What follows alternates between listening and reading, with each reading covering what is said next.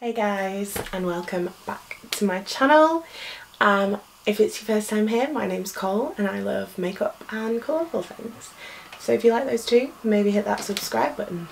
Today I thought I would talk about why, possibly my one true love, sorry Sam, and I'm going to talk today about my um, rainbow palettes. But I feel like I've got that little extra bit of pizzazz in my collection, so they're not just a rainbow palette. Um, I've got nine palettes to talk about again, weirdly the same amount as my neutrals video and that was not even planned.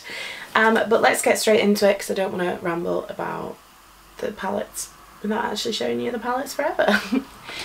so, first off, this one is, this one's a little bit of something different. This isn't like your traditional rainbow palette.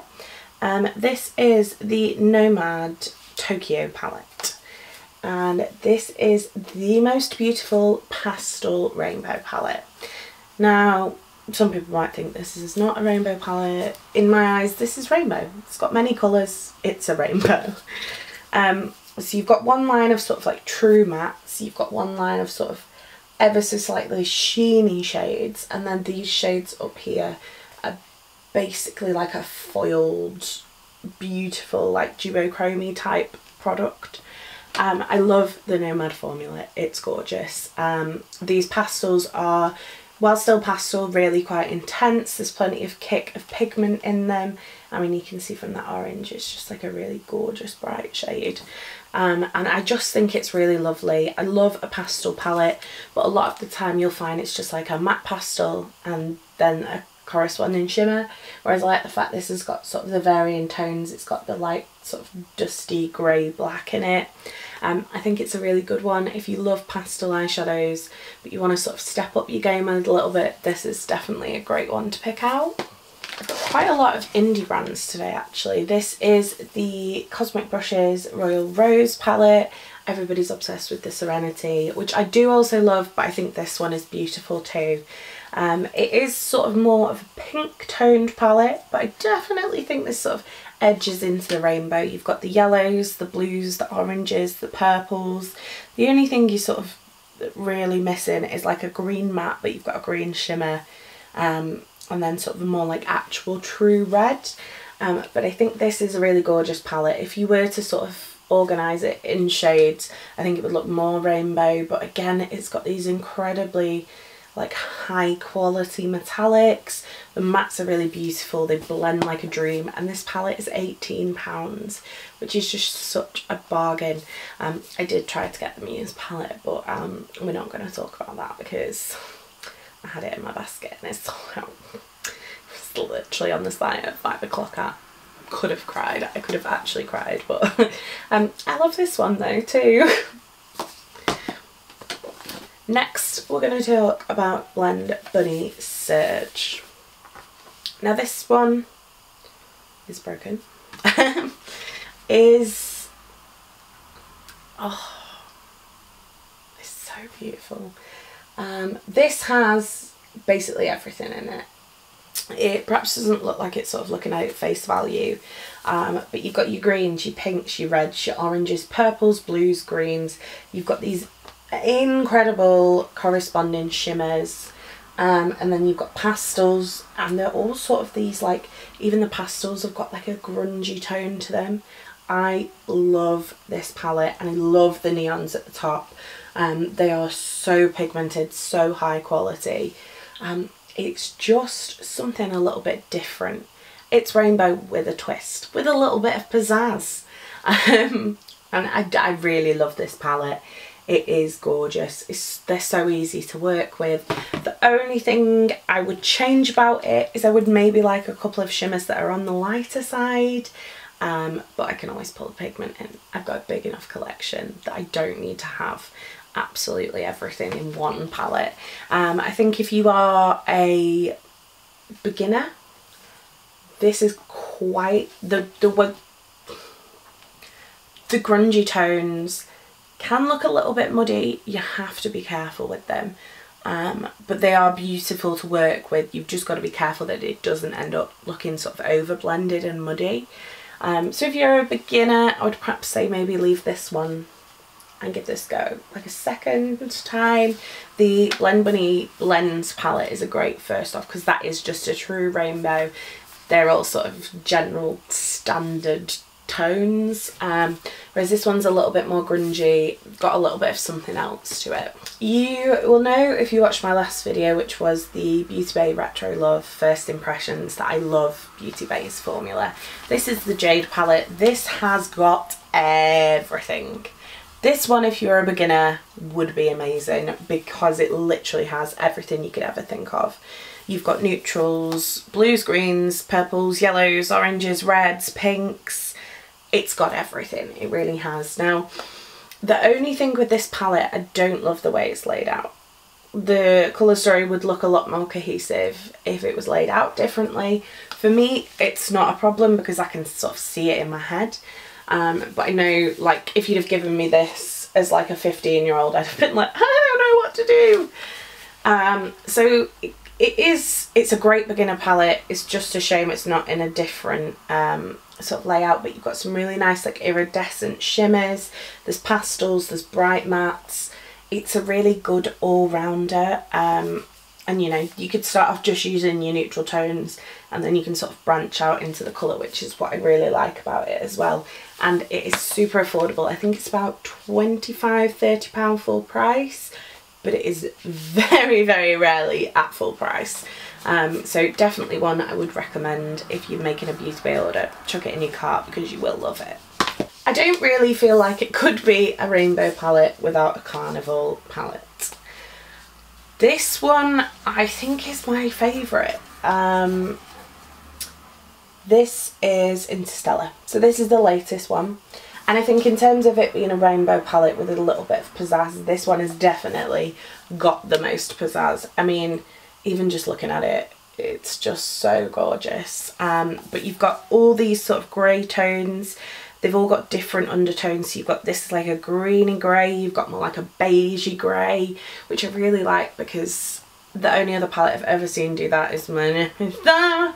Um, and obviously we don't talk about him because um, we don't deal with that toxicity here um, so it's nice to see another brand come out with a grey tone palette sort of section that has all these different kind of tones in it. So they've got some really intense high shimmers. I don't love the two press glitters. Um, I like a pressed glitter, but I think press glitters have their place. And in a palette, I just think they get really messy, like unless it's a pressed glitter palette. Um, but they are really pretty shades. It's just, I probably wouldn't use them when I'm reaching for like a general basic palette if that makes sense. Um, I'd rather they'd put two of these like really creamy shimmers in. Just using this compared to my old Carnival palette you can tell how far the formula has come. Um, and I still love the Carnival, um, Carnival XL was the first one I picked up. Um, but this one just is really is a step above. Again, it's just a really great, got everything in it rainbow palette. You're just sort of missing the neutrals. But if you are anything like me, you don't really need neutrals in your collection because you don't really use them. This one is great. This one is something I don't really see people ever talk about, but I love this palette. This is the Sensorium, um, yeah, Sensorium. Sensor, Sensorium? Sensorium? I think it's Sensorium. This is the chapter one palette anyway. Um, this is, again, so beautiful. I mean, that's that's my favourite thing about rainbow palettes. You look at the neutral palettes and you're like, yeah, it's nice. But I look at these and I'm like, pretty. Um, this one, again, it's got this really gorgeous, like almost cream shadow. Kind of reminds me of the Natasha Denona cream to powder eyeshadow formula. You've got some really great neutrals, some really great... Ooh, something's quite clearly spilled on this but we're just going to ignore that. Um, some really great neons. This yellow is incredible. Um, and then you've got sort of your basic shades. I think it's a really good rainbow palette because it doesn't overwhelm with a lot of one colour. Um, I find a lot of rainbow palettes have that sort of primary colour that they stick to and then they sort of go out from there whereas this is very very varied. We've got some like really individual shades like this one. This is critical. No? Optical. I can't read. Um, which is like this really like strange neony browny greeny khaki I don't know what shade it is but it's so cool. Um, you've got some really nice like basic greys in here a couple of neutrals. I just feel like you've got everything in this palette. Um, and it really like pushed me out of my comfort zone when I first got it which I loved because it wasn't just oh I'll just do like a I'll get this rainbow palette and I'll do an all red smoky eye or I'll do an all pink look. Um, it really sort of pushed me to think about my colour theory a little bit more. Next up I wanted to mention Made by Mitchell Do You Want Some Milk? What a palette name. This is this is one that I mentioned in my 10 palettes would I repurchase them or not. This was a resounding yes. This is not as rainbow as some of the ones I've mentioned today. Um, it is more focused on sort of the pinks and the reds and then like the khaki colours. But again, it's just a really great mix. As much as I love cow print, and you know I love cows, I've literally got a new cow tattoo which is really hard to show because of where it is on my arm. Um, yeah, you really can't see her. But either way, I've, I've got a new cow tattoo. I love cows. I'm obsessed with cows. But I do find this background to this palette to be a little bit distracting. Now, you could definitely do a drinking game with this uh, video, but I definitely wouldn't recommend it because I think you would end up pretty messy. So uh, don't take a shot every time I say something's pretty. But anyway, Kash Beauty Colour Strip palette. First off, it's got these graphic liners at the top, which I love the idea of if I'm travelling because I can use them um, while I'm travelling. The colour story is very cohesive. Like, you sort of look at it and you go, oh yeah, that makes sense in my brain. You know, you've got like the yellowy neutrals, the pinks and the reds, the purples, the blues and the yellow, and then a green and some neutrals and I just think it's it's a really good sort of all-round palette. Um, I was really shocked actually when Kash Beauty launched this because um, obviously a lot of their stuff is really neutral. Um, but like this this baby blue here is like a almost like a glitter topper um, which is beautiful. It's got like a pink reflect in it. Um, this is like a really creamy shimmer um, which again is almost sort of topperish um, and the mats are just really nice. They're a little bit more hard pressed. You don't have to work with them but like when you look at the fact I just literally dipped my little finger in that purple um, you know purples are notoriously hard to formulate. She smashed the formula with this one.